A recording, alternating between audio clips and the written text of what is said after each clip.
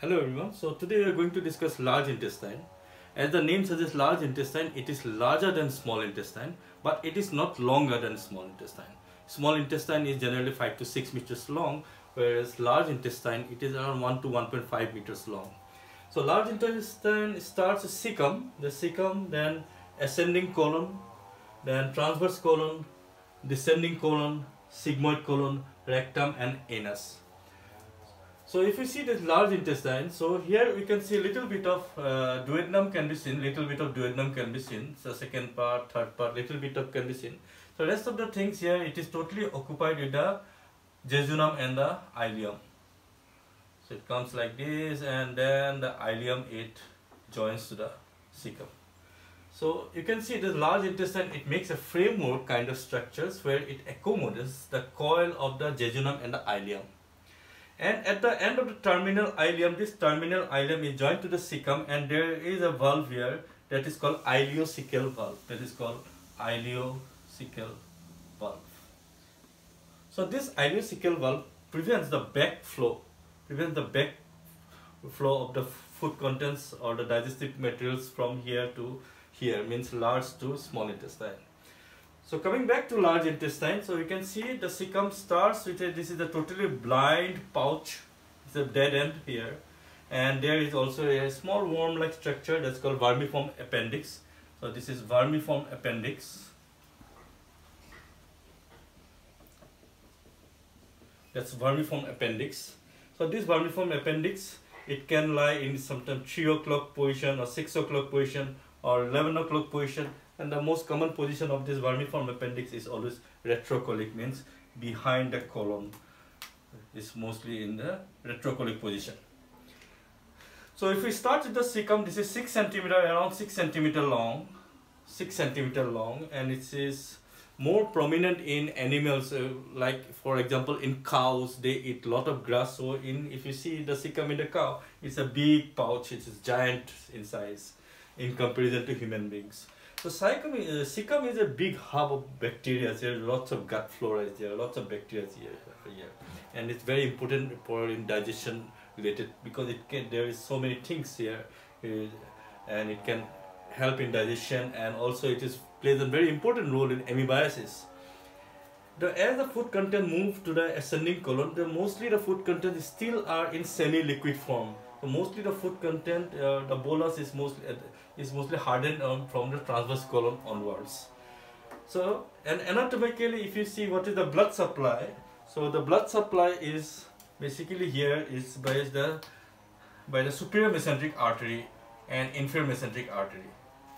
So the superior mesenteric artery it comes out of the aorta and goes to the right, goes to the right okay it starts at the L1 L1 level from the aorta so superior mesenteric artery.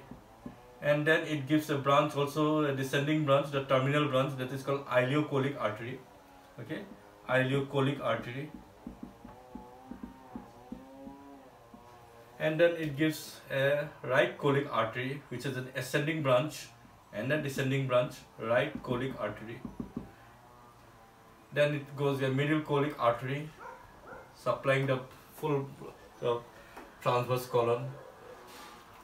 And the left part of the colon and the descending colon they are mostly supplied by the inferior mesenteric arteries which arise from the aorta but from the L3 level. L3 level. Okay. So inferior mesenteric artery is the inferior mesenteric artery. It supplies the left side of the colon. So if you see the arterial supply of the uh, large intestine, so it is supplied by right side by the superior mesenteric artery, means I mean the branches of superior mesenteric artery, and the left side by the branches of inferior mesenteric arteries. Now what is the function of large intestine? So basically large intestine has, it has a function of mixing the food material here, that's called mixing, there's a mixing of the food materials and then the large intestine has also a beautiful gut flora which is very very important so this gut flora helps in the digestion of the food helps in the also the absorption of the food materials and also this gut flora produces an important vitamin called vitamin K. So this vitamin K that we take in our diet, this is basically K1 and here this gut flora, the presence of the bacteria here, they can produce a lot of amount of vitamin K2 which is a blood clotting agent and this is an important benefit benefit of her having a lot of bacteria here in the large intestines. And also lots of vitamin B complex vitamins also they can produce. Along with that the large intestine basically they are needed for absorption of sodium and absorption of water. It is a huge plays a huge role in absorption of sodium and water here. That's why when water is absorbed more the fecal content becomes very hard and result in constipation. And then when the water absorption is less it can produce signs and symptoms of like diarrhea. So absorption of water and or secretion of water it plays a very huge role in diarrhea or constipation. Then coming back here to the large intestine. So how the motility is there? What is the gi motility? Means large intestinal motility here. So if you see in the motility it has three type of function motility. So number one is haustral shuttling. Haustral shuttling haustral shuttling. So what is haustral shuttling here? So we see the large intestine is formed with haustrations. These are all haustrations. Okay. In the haustrations also you'll see a ribbon-like thing which is called as Taenia coli. So the, this is the basic difference between large intestine and the small intestine. So in the large intestine, there is no villi like small intestine and there is a strip of ribbon-like material which is called as Taenia coli, which is called as Taenia coli. I write it here. Taenia coli. So this tenia coli is the longitudinal strip of muscles which lies below the serosa, so it is visible. And it helps in the forward movement of the food particles. It helps in the forward propulsion because it's a longitudinal muscle. Okay. So this tenia coli helps in the, there are three different types of tenia coli, but they help in longitudinal propulsion of the food material from here to here. Okay, that is the basic difference between small intestine and large intestine. Though there are some also some fat materials here like appendages, epiploicae, but we, uh, basically that uh, function of that thing we don't know. But we know the function of the Taenia coli and it is the basic difference between small intestine and large intestine. So small intestine has villi and large intestine has Taenia coli. Small intestine basically they are meant to it absorption of nutrients, okay? And while large intestine basically it is meant to it mixing of the food and also it has to give time so that sodium and water can be reabsorbed here. All right so coming back to here so this large intestine is fixed in two places in these two places. So here you can see the lower pole of the liver is here lower pole of the liver is here. That's why you call this hepatic flexure. Hepatic flexure and here it is present in the lower pole of the spleen which is also this part is attached to the 11th rib which is a ligament. And so this is uh, lies in the lower part of the spleen. So we call this part of the colon as a splenic flexure. Splenic flexure. So overall it is this is 6 centimeter long and the ascending colon is around 12.5 centimeter long. This is around 50 centimeter long this is around 25 centimeter long. So overall it comes around, around 1 to 1.5 meter, which is much, much shorter than small intestines.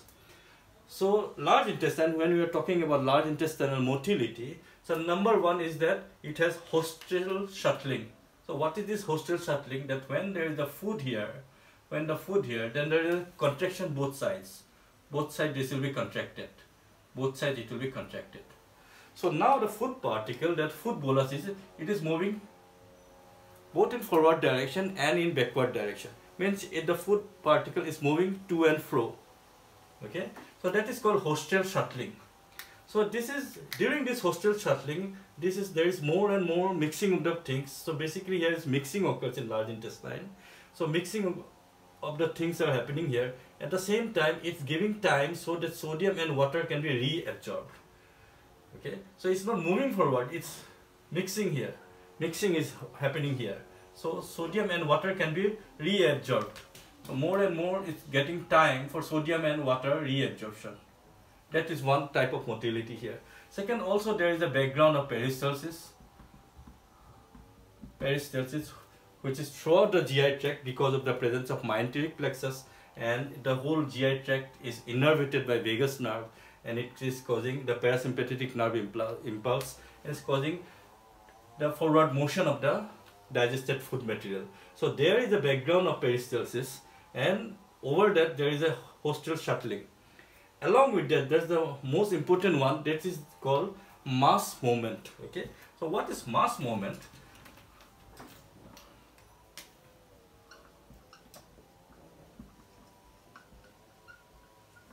So mass movement is the propulsion of the whole of the food materials. There is no shuttling here. The mass movement is propulsion of the food material from one side to the other side. And it is important to notice that the mass movement is only present in the transverse colon and descending colon, not in the ascending colon or cecum. So when there is the mass movement, the colon totally empties itself and dump the, all the food material or the fecal material towards the sigmoid colon. And it is also important to notice that mass movement is not just like peristalsis, it is in a bigger scenario of peristalsis.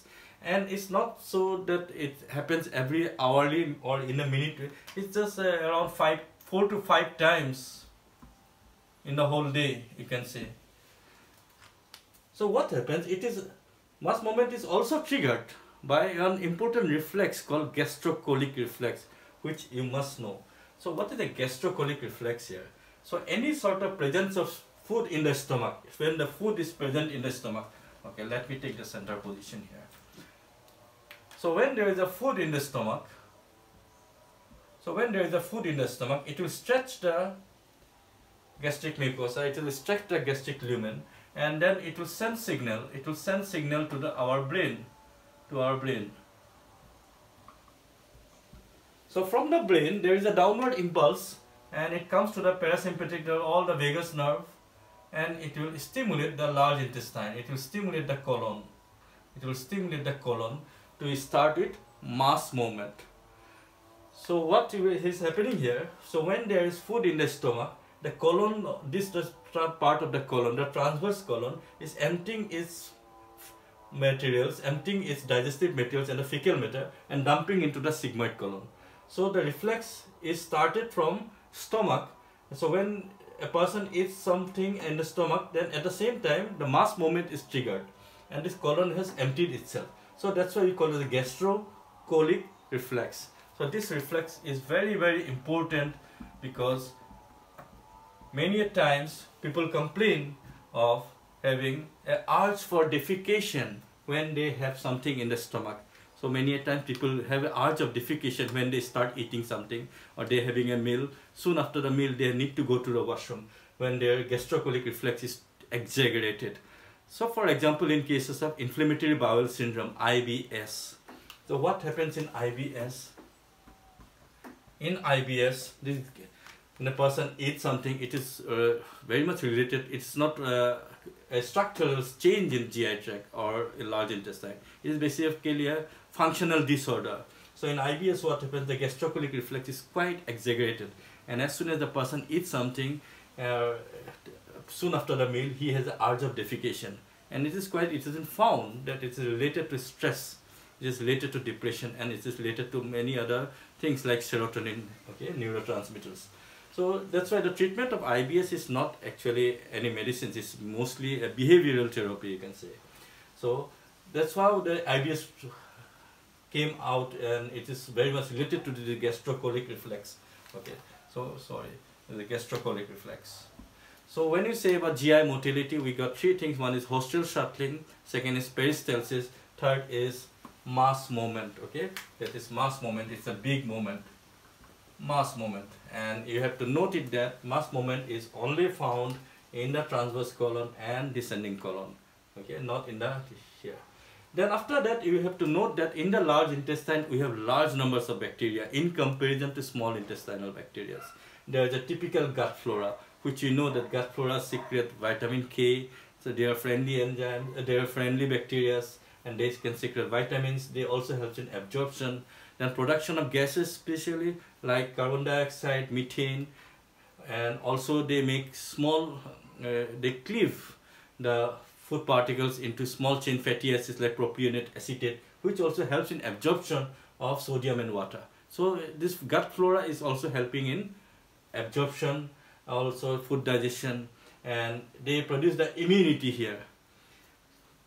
And we also know that sometimes there is a concept called antibiotic associated diarrhea. So when people take lots of antibiotic then this antibiotic can destroy the gut normal gut flora so when normal gut flora will be damaged then a particular bacteria called clostridium difficile okay? This clostridium difficile get it starts dominating the whole of the section and it can present diarrhea. So that is totally antibiotic related diarrhea. When someone uses lots of antibiotic more than required use. For example like cephalosporins penicillin group of antibiotics then quinolone group of antibiotics like ciprofloxacin. Then what happens? This normal gut flora is damaged. So when the normal gut flora is damaged then this bacteria clostridium difficile can start rising and can dominate. And then it can cause lots of water secretion and plus it can decrease water absorption and it can cause diarrhea. And that is called antibiotic associated diarrhea. So these are the things that are associated with large intestine.